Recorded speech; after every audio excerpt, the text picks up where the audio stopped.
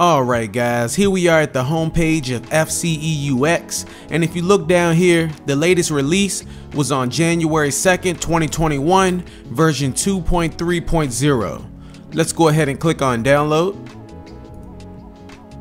And then we want to go to FCEUX 2.30 Win32. Click on that. You're going to get a little countdown timer and then your download should start. Once the download is complete, let's come up to the top right, click on the three little dots, select downloads, show in folder. We can exit out of the browser and let's drag the zip file to the desktop. Exit out. Now we need to extract the file, but first let's create a new folder. So right click, new folder, and we're gonna call it FCEUX. Now the reason I created this new folder is because once we extract the zip file, it's going to create multiple files. So instead of having them all over the desktop, we can keep them in one place. So let's move the zip file into this new folder. Open the folder.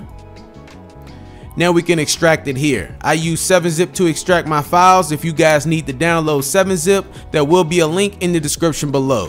Once you have it downloaded, all you need to do is right click, go to 7-zip, extract here. And there we go. This file right here, this is the emulator. Let's open it. The first thing we're gonna do is set up our controller. Let's go up to config, input. Now I'm gonna be using an Xbox One controller and this emulator will detect that Xbox One controller as well as a USB controller. All you wanna do is go to port one and click on configure. Now, to map your buttons out, you just click on what button you're ready to emulate. We're gonna do up, and then you just hit whatever button on your controller you want to be up, left, whatever button you want to be left, and so on. You do the same thing for down, right, select, start, A, B, and if you want turbo A and turbo B, set those up as well. Once you're finished, you can go ahead and close.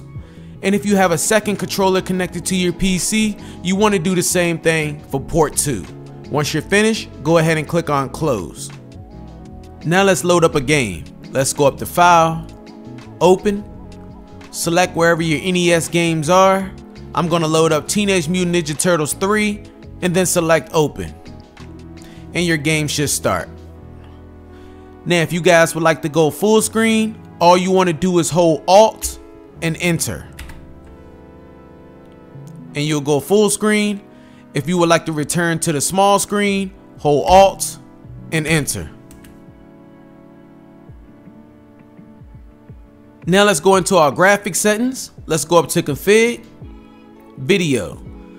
Now you already know that if you want to go into full screen after a game has been launched, then you want to press Alt and enter. But if you want the emulator to do this for you, then you want to check this box right here. Enter full screen mode after game is loaded.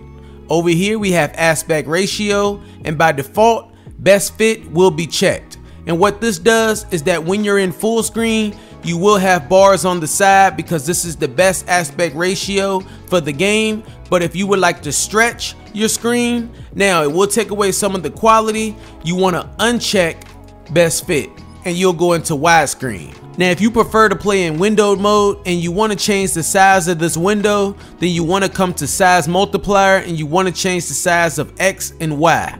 So for example, let's make this a little bigger. I'm going to change my X and Y to 2 and close. And you see it increased the size of the window. Now if you want to play with the graphics in the game, you want to come to special filter, select the drop down arrow and play with these settings.